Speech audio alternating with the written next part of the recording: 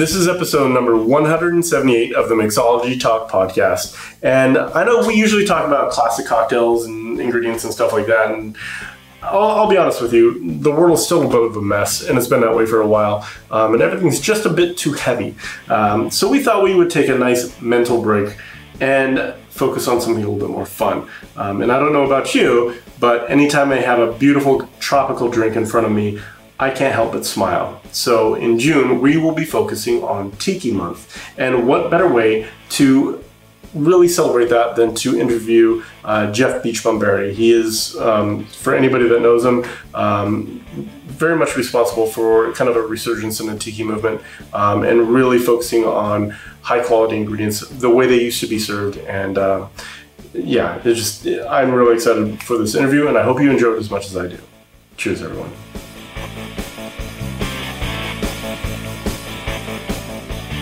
Hey everyone, welcome back to the Mixology Talk podcast. So, as everyone knows, um, every month on the Facebook group, we focus on one particular topic.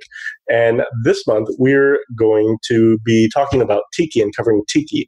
So, there's nobody better to cover this subject than Don or sorry, Beach Bum Berry. I apologize.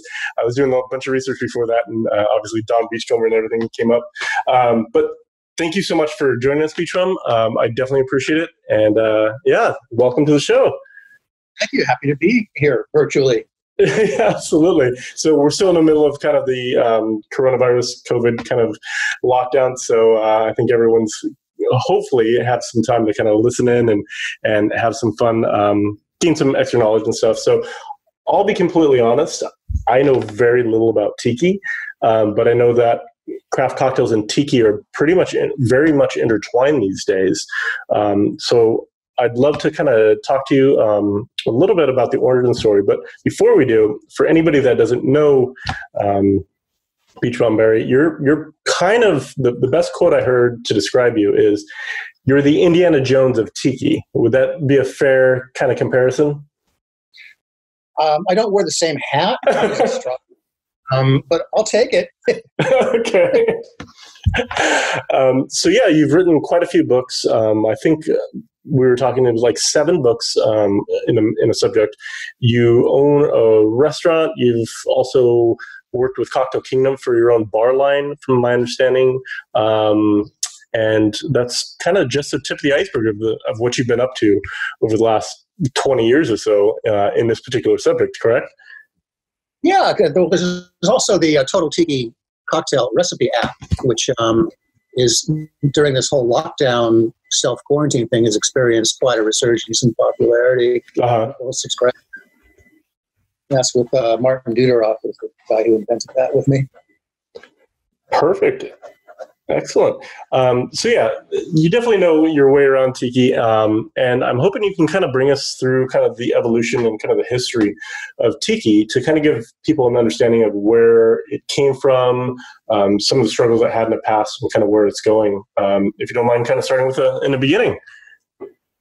Well, you mentioned um, craft cocktails and tiki cocktails as if they're two separate things, and I think the first thing we should addresses that what we now call tiki drinks, which is a 21st century term, by the way. They were never called that back during the 1930s to 1970s golden age. Back then, they were called either tropical drinks or exotic cocktails. Mm-hmm. Um, but you know, we're stuck with the nomenclature now. It's causing all kinds of semantic problems for the whole cultural appropriation and everything. But we'll just call them tiki drinks. It's easier. Um, so tiki drinks were the first post-prohibition craft cocktails um, the people making them in 1934 all the way up through the 70s, for the most part, especially the progenitors of the movement, uh, Don the Beachcomber, you mentioned, and later Trader Vic, they used only fresh squeezed citrus. They had their own in house syrups and tinctures. Um, they had their own pre mixed uh, syrups and, um, and many cases liqueurs.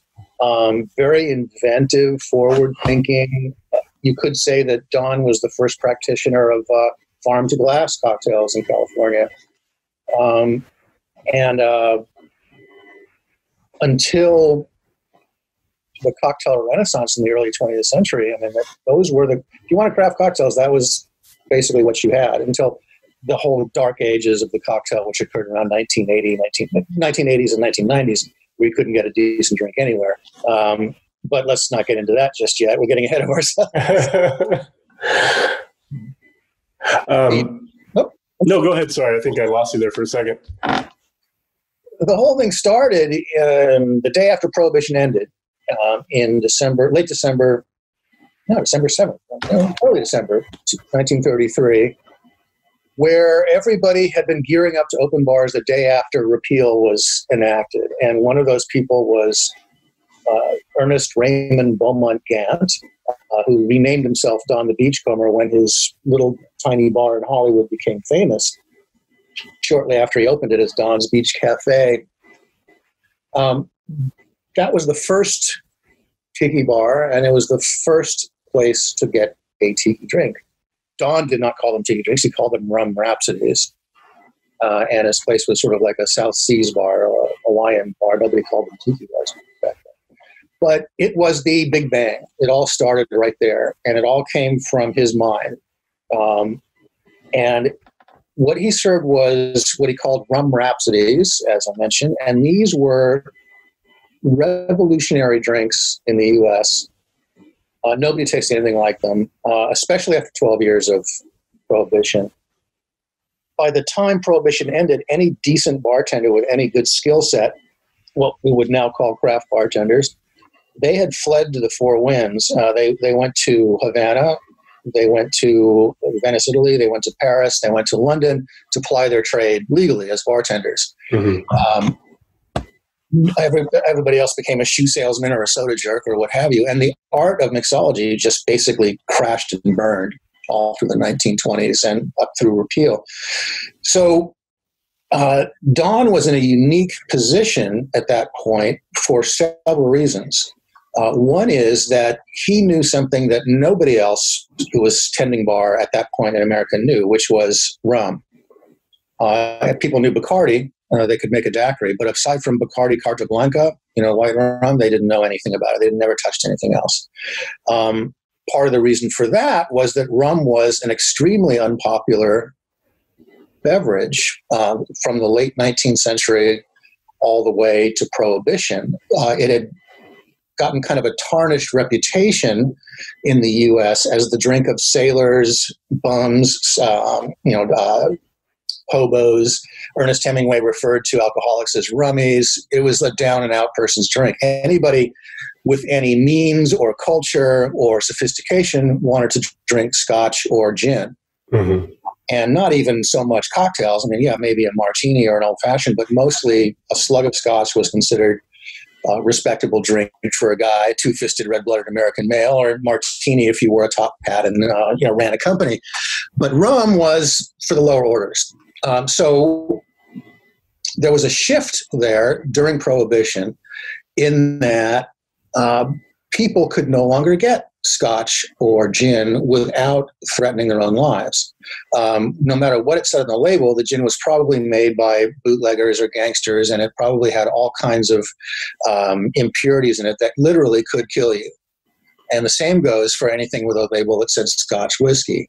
Um, bourbon whiskey, everyone knew would have been fake because the, the distilleries were shuttered.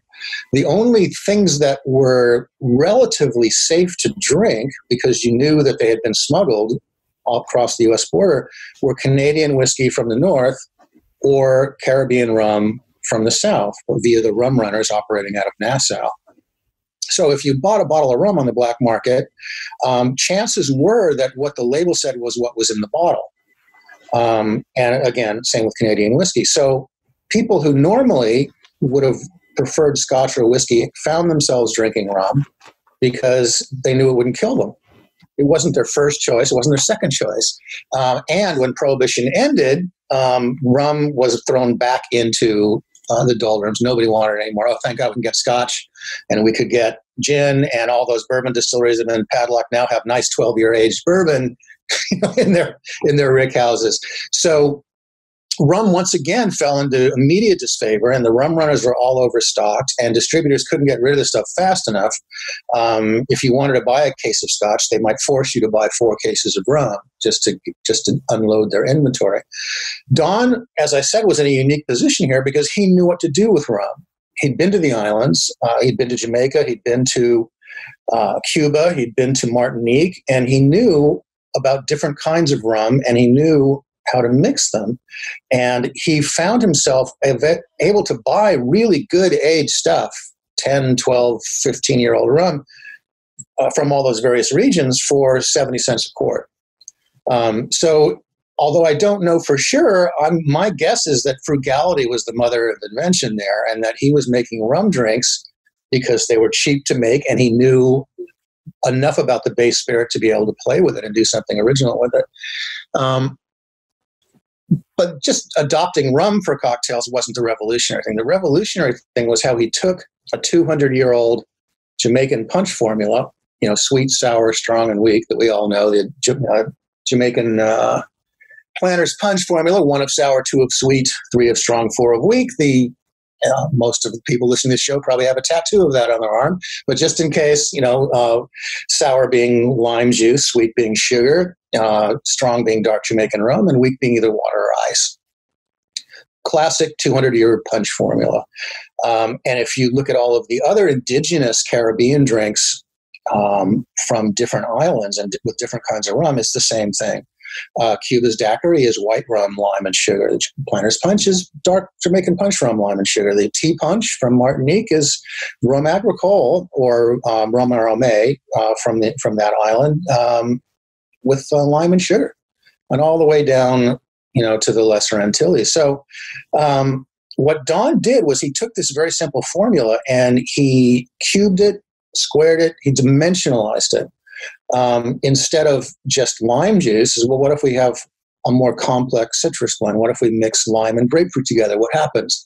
Do the two cancel each other out? Is the flavor muddied or do they enhance each other and do you get a more interesting citrus element?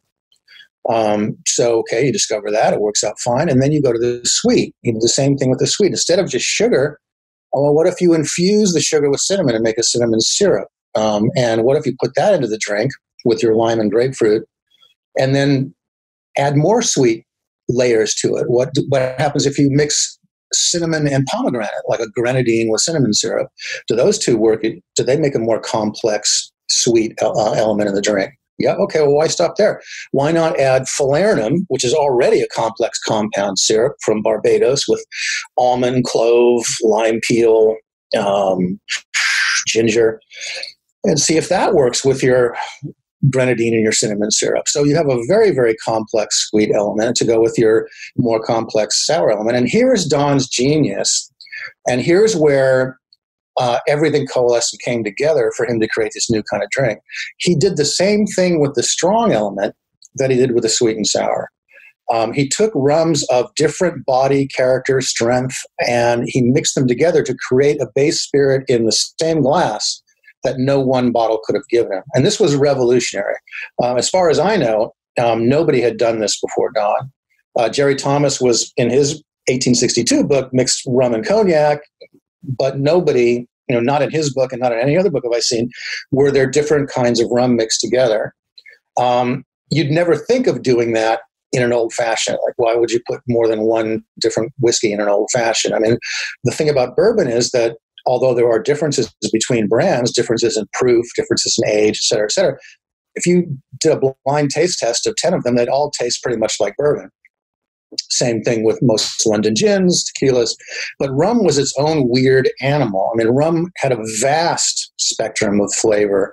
Um, different islands developed different distillation, aging, blending methods to the point that um, the category of white, brown, or uh, and, and dark rum was meaningless because if you took a white rum from Havana, which was a column distilled uh, and uh, you know column distilled off of um, white rum, um, unaged, and you compare that with a rum, rum agricole from Martinique, the rum agricole was distilled from fresh pressed sugarcane juice, sugarcane rum. The Puerto Rican rum was from molasses. Uh, right there, you have an enormous difference, uh, and one does not taste anything like the other, but they're both white rums technically.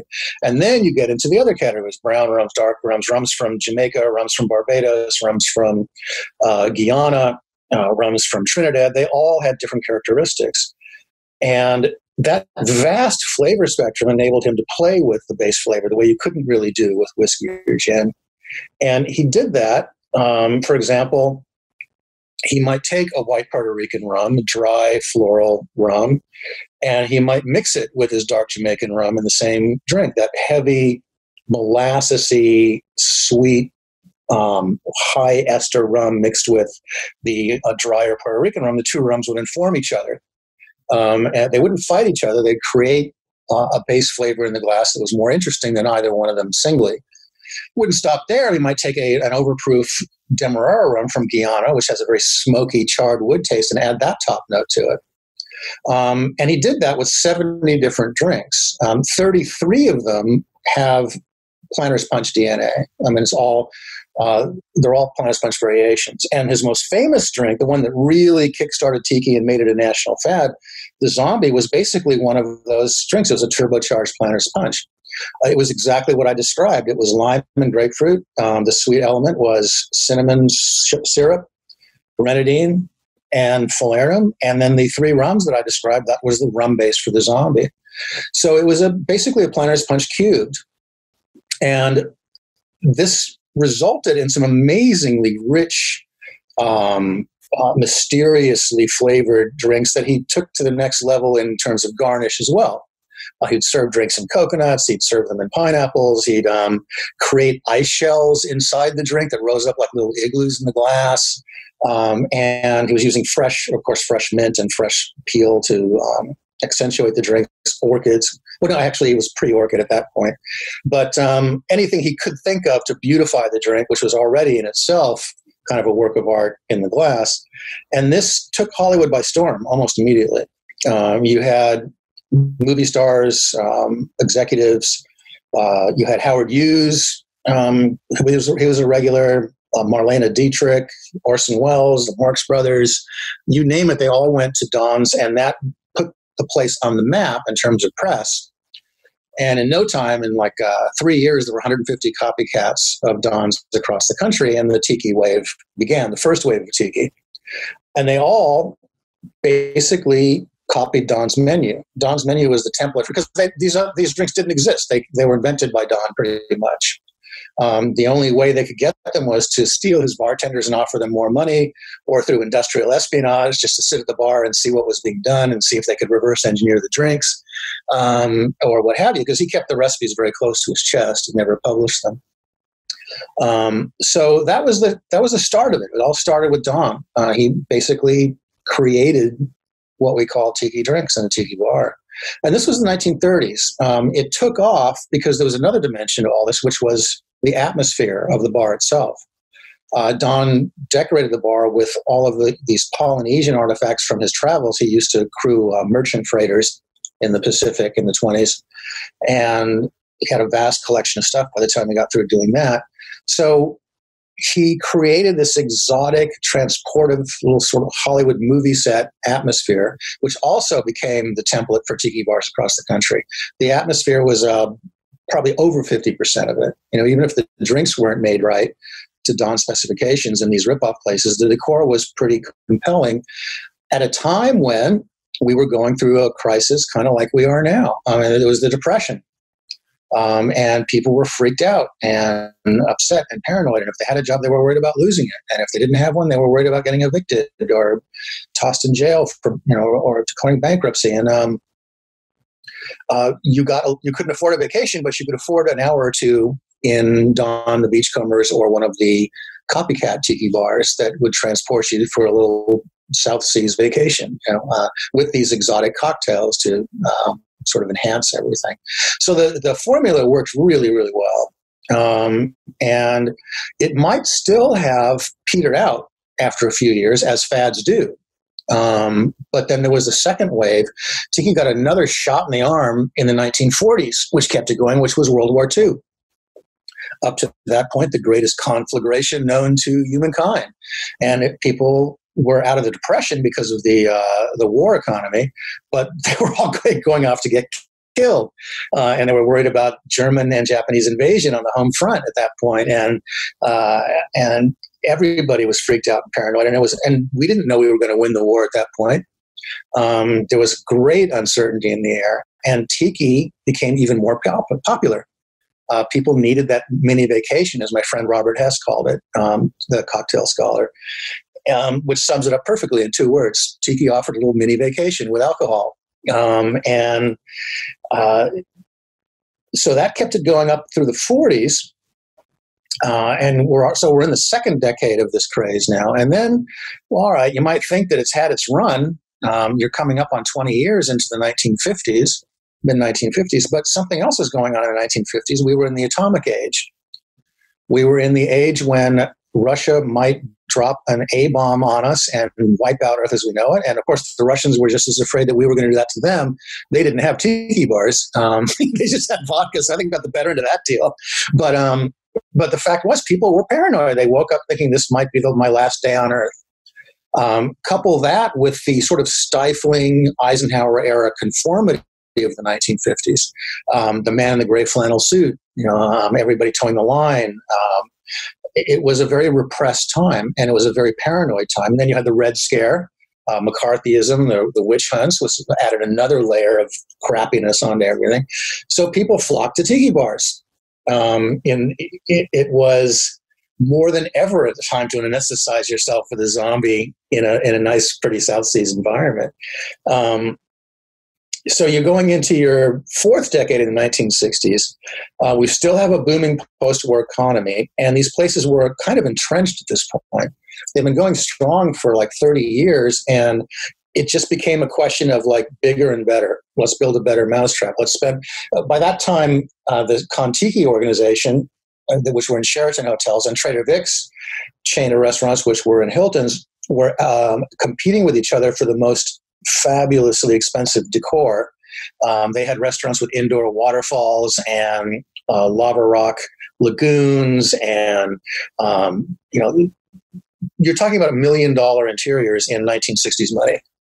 And it was all to outdo everybody else and to get to, to get that market share for this still popular thing. At that point, it was just it was just leisure. People were spending their leisure dollars in these places. It wasn't so much a question of we have to escape reality. It's like this is just a really cool place to go and they were still really popular. And they also, we should mention, these were fine dining places. These were not Jimmy Buffett style beach bars or or uh, burger places. These were a very expensive night out. Um, this was, you know, valet parking, um, really high tab. Um, you know you had a staff of 40 people and you had a, this amazing uh, million dollar interior to pay off and um, and you were charging top dollar for this. Because it was considered chic. Wasn't considered tacky at all. Of course that finally happened uh, things kind of went south in the 70s um, not so much because people thought it was tacky but because of a countercultural shift. Um, history finally caught up with tiki. Um, you know, generally, the worse things got in the world, the better it was for tiki.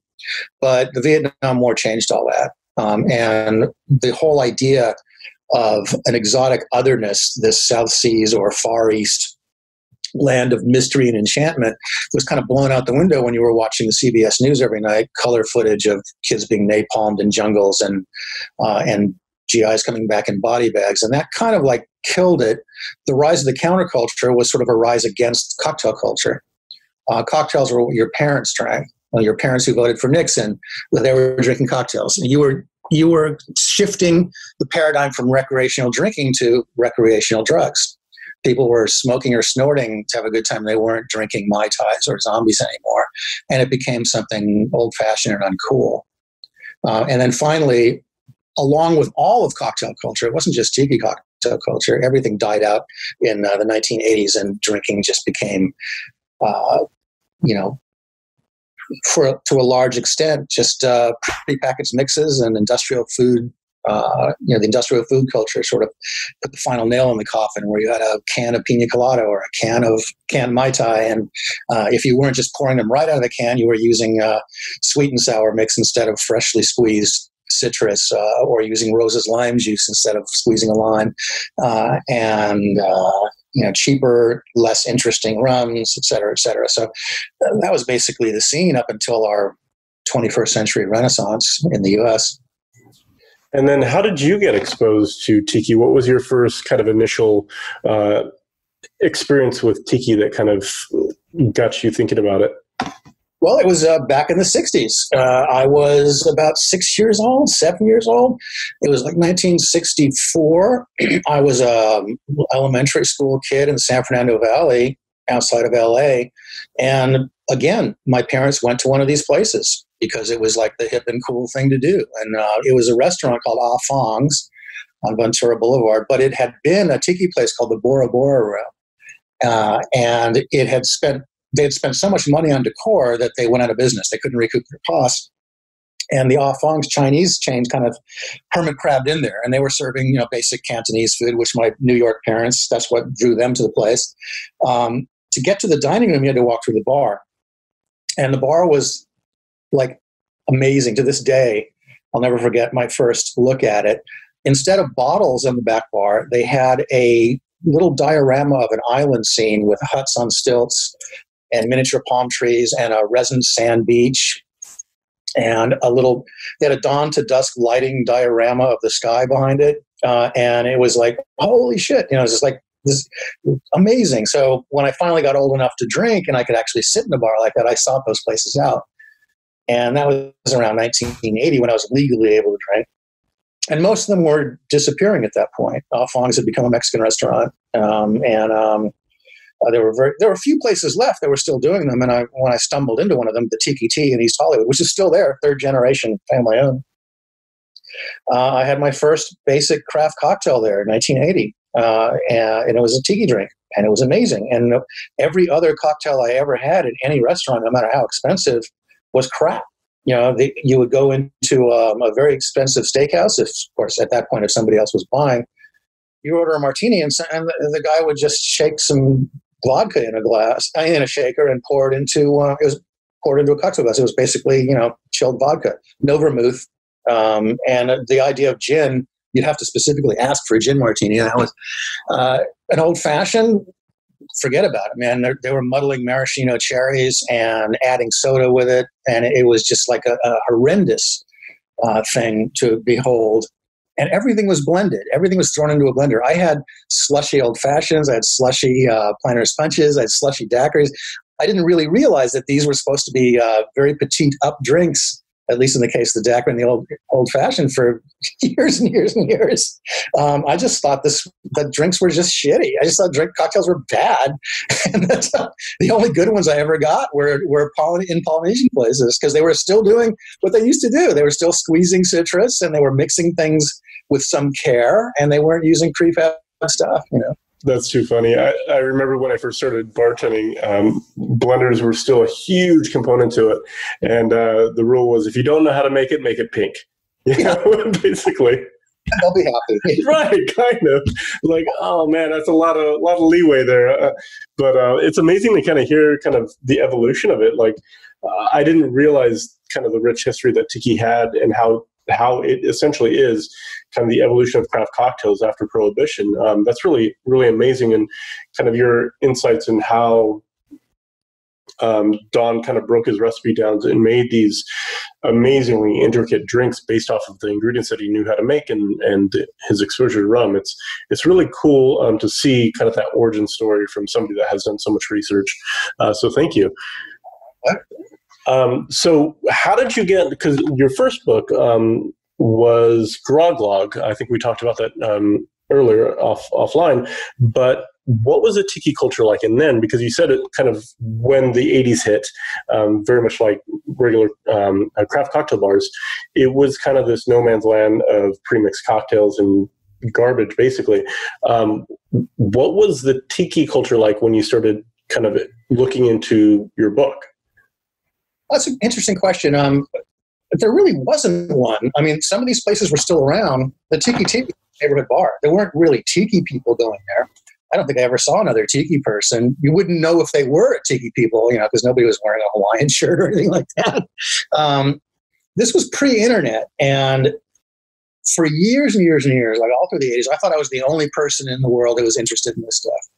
I was the only person in the world who liked these kind of interiors and wanted to wanted them to stay, and um, you know, was fascinated by the drinks and and uh, the whole uh, vanished Polynesian pop culture.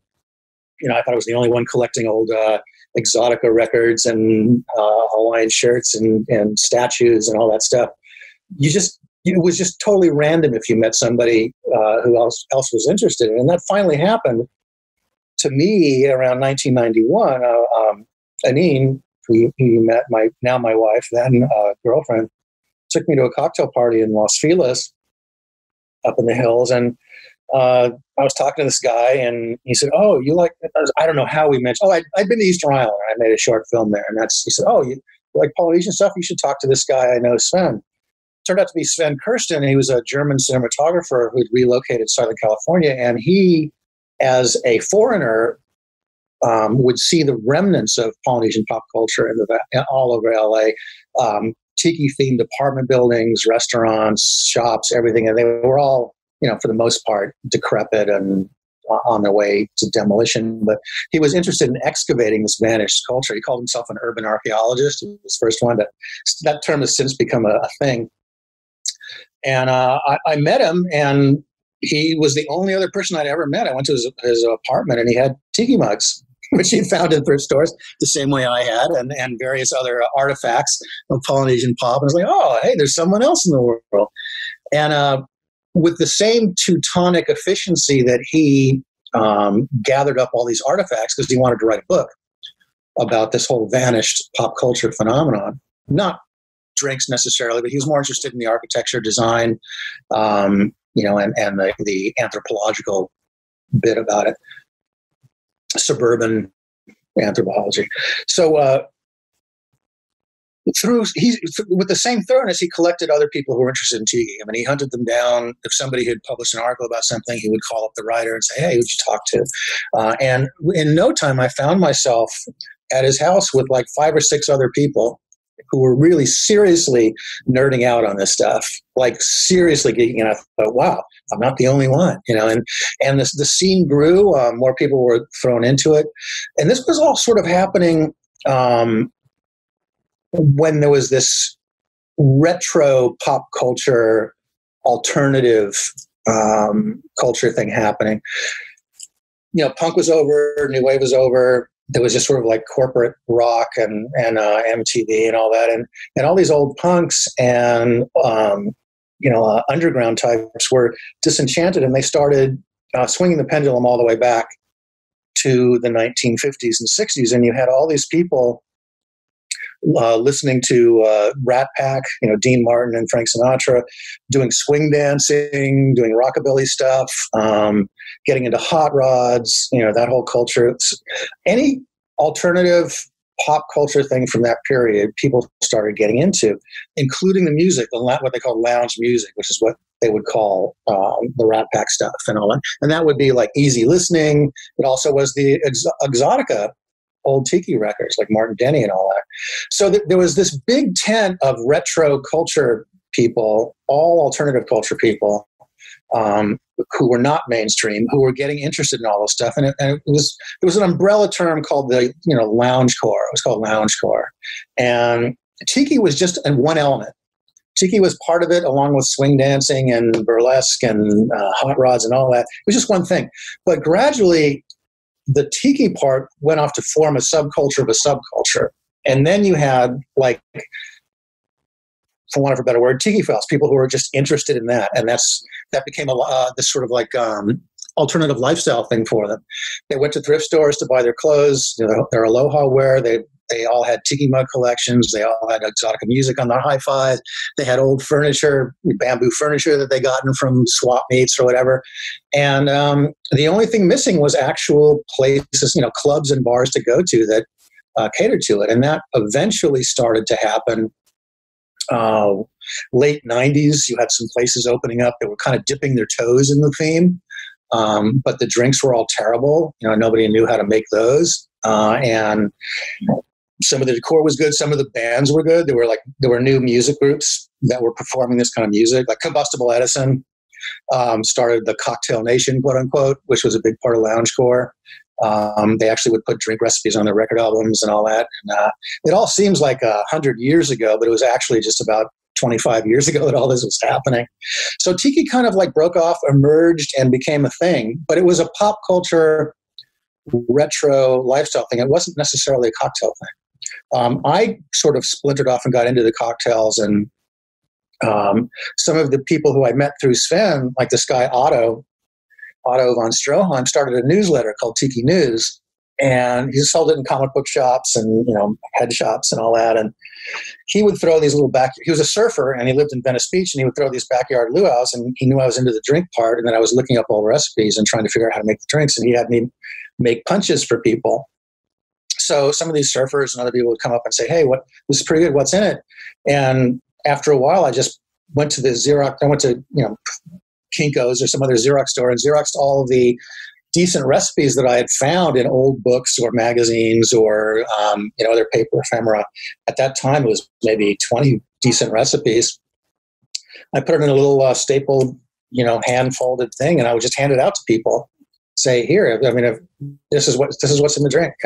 One of those found its way to a comic book publisher up in san jose called slave labor graphics and the guy ran it dan Vado, happened to be into tiki just totally random you know again just pre-internet randomness. And this was around 1994 and um, he said hey do you want to publish your want to publish these as a book? And i said well okay. And it was this total like diy cheaply made spiral bound little thing that and Dan had never done a real book before other than a comic book or a graphic novel rather. So that you could only get it in comic book stores because that's the only distribution he had. you know, when that came out in '98, and then, and long story short, uh, that went over okay, and I did another one, another one. They didn't, they didn't make any money. They didn't make any impact on anybody not even the cocktail renaissance when that finally started to take off around 98 99 nobody gave a shit about tiki in fact tiki was considered part of the problem by craft cocktail bartenders. They all had this preconception that these were all slushy syrupy cruise ship blender drinks. And why wouldn't they? Because that's all that you had gotten for the last 20 years in most places. So it took about 10 years for the for the beach bum books to kind of like win their way into that culture. Um, people started like Brian Miller in New York at Death and Company discovered one of the Sippin' Safari, one of my books, and, and he started serving zombies at um, Death and Company, and other people started serving Navy Grogs and other New York bars, and gradually the craft cocktail movement came to understand that these actually were craft cocktails, and you started to find tropical drinks at PDT, and you'd find tropical drinks at um, uh, other like really highfalutin craft bars. They would serve um, Mai Tais, first of all, when they discovered that Trader Vic's original construct for Mai Tai was a very elegant, simple craft cocktail. I mean, that sort of found its way on menus as well. So, and now here we are. that, that's pretty crazy. Um, and was there um, any, like, how did you go about finding the, a lot of these recipes? Um, because I imagine that that was not an easy chore. The problem was, um, and you're, you're absolutely right about that, Chris. The problem was that nothing had been written down. Mm-hmm. Um, these were all very valuable trade secrets, and bartenders can sometimes build entire careers out of keeping those recipes secret. Um, if you had the knowledge, if you had that little black book, which and almost every time I've seen one of these recipe booklets of old school tea drinks, it was a little black book, like a little address book that could fit into your shirt pocket. And this was the grimoire. These were the secrets that no other man or woman shall know. Like if you, this was your passport to employment. If you knew how to make these secret recipes, that Don Beach wasn't sharing with anybody. Um, I talked to one guy, Bob Esmino, who worked at the Kon-Tiki chain, and he said that the deals that he and some of the other tiki bartenders who knew these recipes could make were astounding. Um, you would a restaurant put tiki drinks on its menu to cash in on the craze, and they would hire someone like Bob because he knew how to make them, and Bob would work out a deal like, okay. Um, I'll make these drinks for you, and I'll I'll tell you what to order from your purveyors and, and vendors so that we can we have the ingredients but i'm not going to give you the recipes um, and if i don't like it here i get a better offer i'm going to leave and take my recipes with me that's an extraordinary amount of power for a bartender to have and a lot of these guys built entire careers out of keeping these recipes secret so uh, in one sense in one very real and I'm forever grateful to this. I was in the right place at the right time. I was in Los Angeles in the 1990s when a lot of these old timers were still around. Um, you could walk into some Chinese restaurant and there would be uh, somebody like Tony Ramos behind the bar who used to make Navy grogs for Frank Sinatra at Don the Beachcomber's. He'd just be there serving drinks to people at the Chinese restaurant who had no idea what he was or what he was capable of. And you would look at the drink menu and you'd see Don the Beachcomber's greatest hits on it. Go, holy crap, did you ever work at? And he said, yes, I did. And so I could actually watch and learn people actually making the drinks the way they used to be made back in the day. And they still did it that way. That's the only way they knew. Um, but if you crossed the line and said, hey, what's in that drink? Invariably, uh, Tony or Ray Buhen at the Tiki-Ti or, or anybody else who you happen to discover would say, rum and fruit juice. like, oh, okay, what about that drink? Rum and fruit juice is like, oh, okay. So they're still working part with these things. You know, it was, it was not going to happen. Um, uh, the sole exception was that Trader Vic, um, who had a chain of 20 restaurants internationally when he died in 84, by 1970, he was so rich and so successful, he just didn't care. And he published all his recipes in his own cookbooks um, and made a lot of money off the books as well. So we knew how to make a decent Mai Tai and a fog cutter and a scorpion and all of his most famous drinks. Mm-hmm. But even he, like my favorite drink at Trader Vic's was Navy Grog. But if you look in the Trader Vic book, he told you how to make a Mai Tai, which is his most famous drink. But when it came to uh, Navy Grog, it said uh, two ounces of Trader Vic's Navy Grog mix and three ounces of Trader Vic's Navy Grog rum. so there were still gaps. Um, and uh, gradually over time, I became friends with some of these old guys who I was interviewing for the books, and and they started to trust me, especially after I wrote the Grog Log and I paid homage to them. You know, they could see I wasn't just trying to rip off their stuff. Mm-hmm. Um, that I wasn't trying to open a bar. Har har. it's like right. Uh, at the time, I had no intention of doing that. I just wanted to know what these recipes were. I, I, I was a hobbyist. I was an amateur. I wasn't in the business. Uh, I wasn't in the service industry. I did not want to open a bar or restaurant. I would have no idea how to go about any of that. I just wanted to be able to make the drinks at home, you know, because these places were disappearing. Um, and the books just came about because it was a lark. You know, they didn't make any money. Um, they took all my time away from what I should have been doing to pay the rent. Uh, so, but anyway, they started giving me, a, you know, a recipe or two or three, and I got a couple of original Beachcomber recipes that way. But it wasn't until the internet that the dam finally burst. And it was through Otto when he took Tiki News online as an online newsletter. He started getting inquiries. Uh, one of them was from a lady named Jennifer Santiago, whose dad, Richard Santiago, was a maitre d' at Don's in the 1930s. And she said, well, he had passed away a long time ago, but she said, would you, would Tiki News be interested in some of the old recipes that he had lying around, you know, in his, in his effects? And Otto put her in touch with me, for which I will always be grateful. And she was a great lady, and she eventually agreed to send me a Xerox copy of his 1938 notebook. Wow. And like this was it. This was the holy grail. The Rosetta Stone was all there. Um, stuff that I've been wondering about for years and years and years. I would look at the old menus in my collection and I wonder what the hell is in that drink. Now the thing is, they were in code. I looked at that. I looked at the book, booklet. I was all excited, and it, they were in code. There were things like Don's Mix. There were things like Don's Spices number two, Don's Dashes number one, number four, and that was all to keep his bartenders from making drinks for other people if they hired them away. It worked really well. It worked. You know, decades after his death, it was still working. I couldn't figure out how to make the drinks. But again, right place, right time. I would meet the families of other people whose families whose, whose father, grandfather had been a bartender um, during those days, and they had notebooks. Sometimes you would get you if you put the notebook side by side, a 38 against a 55, you would see that uh, some things were pretty easy to decode. Mm-hmm. Uh, by the time Hank Riddle's family gave me his book from 1970, um, he had um, all of Don's dashes decoded, one through eight. He was just he just had a key. So gradually, over many years and meeting many people, I was able to slowly and uh, ingredient by ingredient crack the code and figure out how to make the drinks. And most of those ended up in Sippin' Safari in 2006.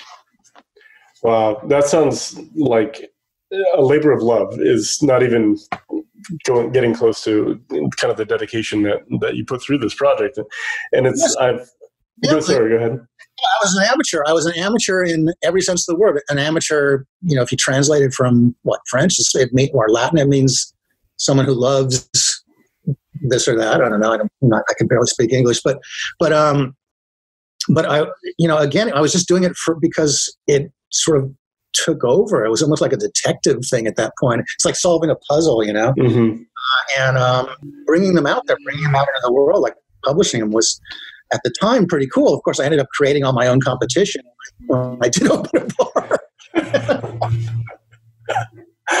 well, and speaking of which, I think uh, most of the bars that actually operate um, and do tiki uh, style drinks, they I would assume most of them are using the books that you publish because once again they probably didn't have access to the to the original recipes and formulations. Yeah, they are. In fact, they would tell me. You know, I, I, didn't have to guess at it. They first of all, you look at the menu, and you know, there's no other way they could have gotten them. At least before they started going all over the place on the internet. And sure, of course was. But um, yeah, and but they would just tell me flat out, yeah, I got this from your books, and I would think, cool, you know, this is great. I'm glad to see this stuff's back. It's wonderful, you know. And then I want, finally got around to opening my own place. It's like, oh, everybody's already making all these drinks. it's like I got to come up with something new. Damn it, man! I can't keep this a secret anymore. Everybody knows. oh man, that's too funny. So since since you published your books, uh, how has kind of the tiki style drinks and culture kind of evolved from that point? That's a great question, uh, and I see it every time I go out on the road, um, you know, cocktail festivals or whatever. I'll, first place I always go in any city is the local tiki bar or restaurant. And what I'm seeing in the 21st century with younger bartenders is they're taking Don's method of experimentation and Vic's uh, method of experimentation. You know how those guys dimensionalize that basic rum, lime, and sugar tropical paradigm uh, and complicated it. Uh, people are taking that one step further, and I'm I'm fascinated by what's happening. It's like, first of all, instead of mixing three rums in a glass, they might make tiki drinks with mezcal, or mix mezcal, uh, or um, lot, I see a lot of gin based tiki drinks. I see some pisco based tiki drinks. They're using ingredients that were not available to Don Vic. Um, I'm seeing drinks with flavored with lemongrass or, or saffron or um, uh, sandalwood, even. Uh, people are able to make tinctures or syrups out of just about anything now, and and there's a lot more um, sophisticated gourmet way of thinking about making these drinks, as it should be. I think that if Don uh, could come back from the dead and see what was happening, he would probably approve everything that was being done to his recipes, all the experimentation, because that's what he did, you know, mm-hmm. to the, the, old Caribbean formula. Um, in terms of the next wave, I mean, it's just it's mostly about uh, spices a lot of Southeast Asian spices. I'm seeing a lot of Thai spices, a lot of um, East Indian, you know, masala kind of stuff. Um, that's a big thing. I think once Amazonian fruit starts to be exported, I was in Lima, Peru uh, for a cocktail festival a couple of years ago, and um, I had a lot of uh, cocktails made with Amazonian fruits that I had never even heard of. Mean, I took pictures of these things because they look like they're from another planet, totally alien. You know, so that's another wave. I think Latin America is really where you want to look next to see what the next phase of tiki is going to be. Excellent. And then when you were going through your discovery um, and interviewing everyone and kind of going through and compiling all the information around these recipes, is there any one story that really kind of sticks with you and, and just every time you think about it, you're like, oh, that was fun. That was a great, that was a great time. Man, there's, there's too many to mention. So that's sipping the first first three books were recipes. Mm-hmm. Recipes with like a few notes underneath about where the drink came from and an anecdote if there was. And I was just so single minded about recipes, about collecting recipes. Uh, and I was doing the same thing with Sippin. That was going to be a recipe book. You know, I had all these beachcomber recipes finally, and I was getting the um, tiki recipes, and I was all excited. And as I was interviewing the bartenders who were, you know, who I could track down, these old timers, almost all of them Filipino, by the way. Um, they started telling me their life stories, and their life stories were like unbelievable. Like one, Bob Esmino was telling me how he was a teenage guerrilla fighter in Manila during World War II. Um, Hank Riddle's family told me about how Hank Riddle used to serve Howard Hughes, who um, you know who had a trunk full of shirts and socks. He only wore them once, and he would just like uh, throw them out or give them to the bartenders and bribe people when he brought in movie stars to the bars and didn't want the press to find out about it. Um, one other bartender was a uh, a source for gossip columnist Hedda Hopper, who was really famous in her day, and he would tell her about the shenanigans that were going on at the beach like all these amazing stories. Um, and it's just like finally it penetrated my thick head. You know that you need to write about these these personalities and what was happening at the time. This is much more interesting than any recipe. You know, so the recipes became sidebars, mm-hmm. and the book is divided up into you know chapter, chapter devoted to one, two, or three personalities. Either I knew, knew them directly or interviewed them, or if they were already deceased, I interviewed their families. Uh, and um, man, there's so many. But one of my favorite uh, stories was actually for Potions of the Caribbean, another book I read. Um, you know, sometimes after spending the last 20 years getting more and more professionally involved in cocktails and bars and becoming my entire life, I'm sometimes reminded of um, uh, a Knute Rockne quote. He was talking about football. He said, You have to be smart enough to understand the game and dumb enough to think it's important. And after a while, being just saturated with cocktails, I started to think that way. But I was like, this doesn't really matter. This isn't important. This is just, it's just drinks. And then you come across a guy like Joe Scialom, who was the uh, head bartender at the uh, Shepheard's Hotel in Cairo during World War II when, when uh, Rommel and Hitler's Afrika Korps were storming Egypt. And he, you know, his daughter told me the story about how he invented a drink called the Suffering Bastard, um, which has went on to become a very famous drink in Polynesian restaurants. Kind of got co-opted into being a tiki drink, just because I think just because of the name. Anyway, uh, when Rommel's uh, Afrika Korps was cutting off the supply lines to uh, the hotel, which was a very ritzy, expensive hotel, um, the regulars at the Long Bar, where um, Joe was head bartender, they were all British officers. The 11th Hussars, part of Montgomery's 8th Army. And they started complaining they were getting bad hangovers because we were serving them crappy booze. So we came up with this drink, which he called the suffering bar steward or suffering bastard, depending on who he was talking to, as a hangover cure. Um, and the second battle of El Alamein um, was raging at the front, 150 miles away from the hotel. And the 11th Hussars were mobilized after a long night at Joe's bar, and they were all hungover. So Joe got an urgent cable from the front saying, please send as much of your hangover cure as you possibly can to us at the front.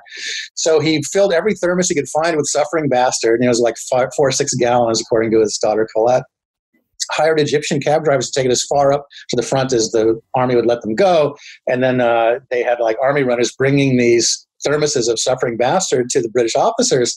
And the officers won the Battle of El Alamein. They won the Second Battle of El Alamein. And Joe's drink, the Suffering Bastard, was known as the drink that won the Battle of El Alamein. Now, what's cool about this, it's a cool story, is that the Battle of El Alamein was a turning point in World War II. A cocktail may have helped win World War II. I mean, before that, uh, I think Churchill said, before El Alamein, we couldn't win a battle. After El Alamein, we couldn't lose one. You know, so it's all because of the suffering bastard, right? I mean, so I will never doubt the importance of cocktails again after hearing that story.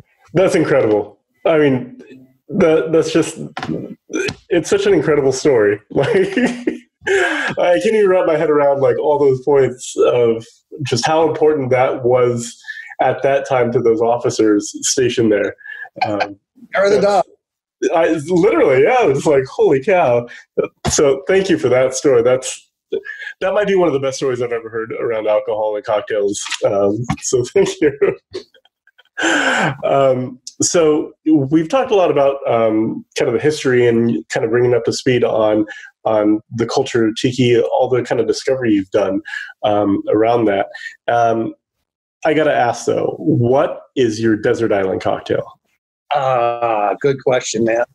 Um, I think it's got to be the Navy Grog.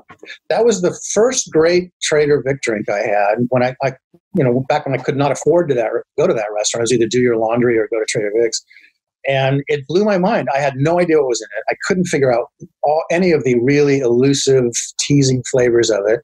Uh, and that's kind of what started me on the quest of trying to figure out what was in these drinks. Um, and I'll still, if I ever do get ambitious at home and I've got the ingredients, that's the drink I'll make for myself. It's a, it's a Navy Grog. Now, can you break down your uh, recipe of choice for us?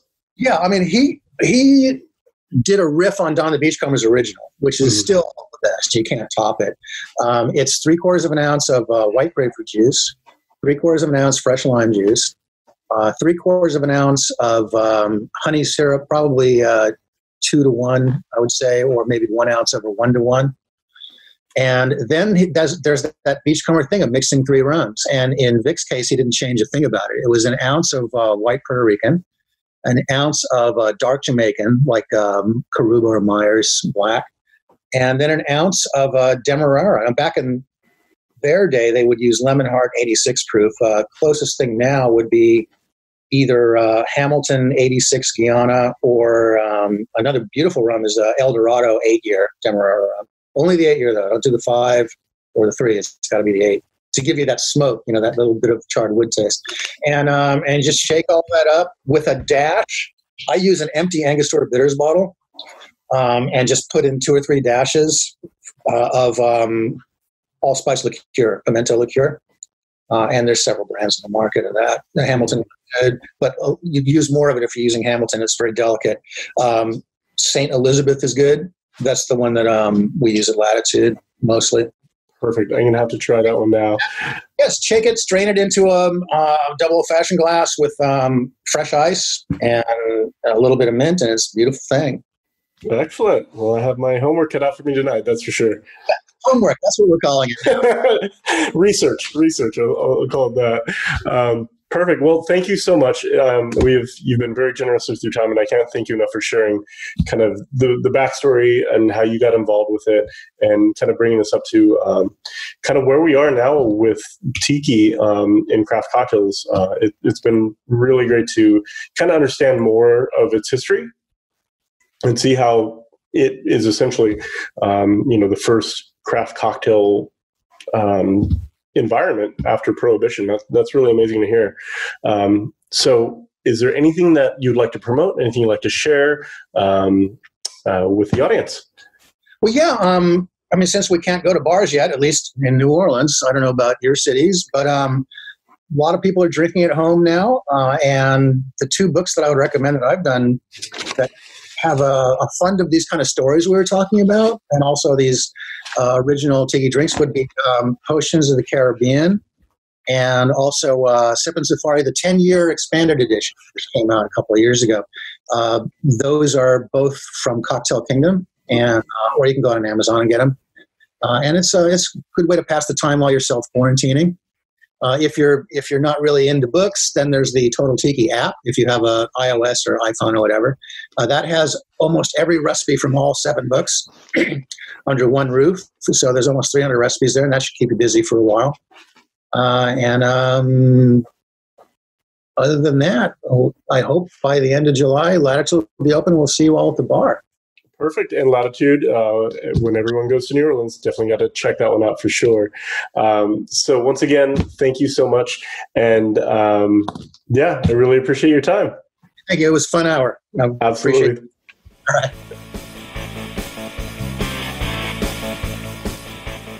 So once again, thanks to Jeff Beachbum Berry for his time and also sharing a lot of his stories and research along the way to kind of resurrecting uh, tiki drinks and giving them a, a whole other layer of respect um, I learned a ton about the history of tiki, and I hope you enjoyed that interview as much as I did. Um, so we'll have links in the show notes to all the things that we uh, talked about, and definitely go check out uh, his books as well. It's a great way to kind of pass the time if we're still under quarantine and you're looking for just that little bit of sunshine in your day. Um, a tiki cocktail is a great way to go. So we'll have some more podcasts for everyone in the future, but until then, I hope you're staying safe, healthy, and uh, I can't wait to see everybody in the barn in the near future. Cheers, everyone.